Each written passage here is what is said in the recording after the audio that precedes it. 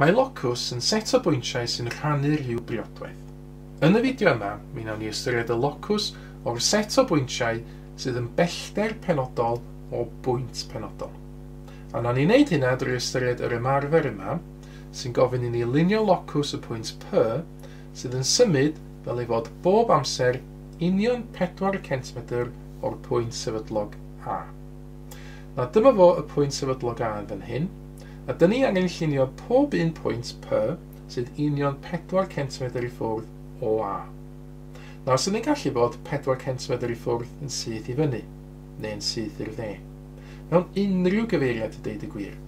Ac os ni'n ystyried pob un pwynt sydd union 4 cm o'r pwynt A, be gawn ni ydy siap cilch. Na fydd y cilch yna efo'i ganol ar A, a fydd radiws y cilch yn 4 cm. Er mwyn llunio cilch o'r math yma, dwi angen estyn cwmpas allan a plemesur. Dwi angen agor hyd y cwmpas i fod yn 4 cm. So hwnna reit agos ati fan hyn. Yna yn rhaid pig y cwmpas ar y pwynt A, a mae'n ei lunio cilch cyfan efo'r cwmpas. Nawr wrth wneud hyn, mi fydd pob un pwynt ar y cilch yma union 4 cm i ffwrdd o ganol y cilch. Ac felly, dwi wedi llunio'r locws dwi angen i wneud yn y cwestiwn yma. Mae'r pwynt P sydd yn symud yn symud ar y cilch yma.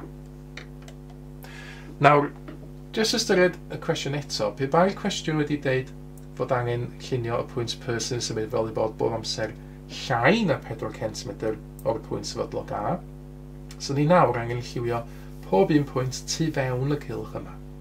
Neu, ar y llaw arall, pe bai'r cwestiwn wedi gofyn am y pwyntiau bob amser mwy na 4 cm o'r pwynt sefydlog A. So ni nawr angen lliwio pob un pwynt tu allan i'r cil.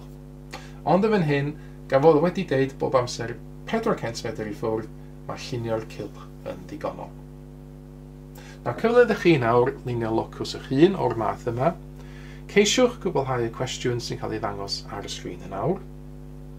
A wedyn, pyn ydych chi wedi cael cyfle i wneud hyn, mi gewch chi gymharu'ch ateb chi wedyn efo'r ateb cywir sydd yn nawr yn cael ei ddangos ar y sgrin. Mae mwy o fideos adolygu ar gael ar ein sianel YouTube Adolygu Mathemateg. Am y newyddion diweddaraf neu holi cwestiwn, dilynwch ein cyfrif trydar at mathemateg. Neu ewch i'n gwefan www.mathemateg.com am fwy o adnoddau adolygu.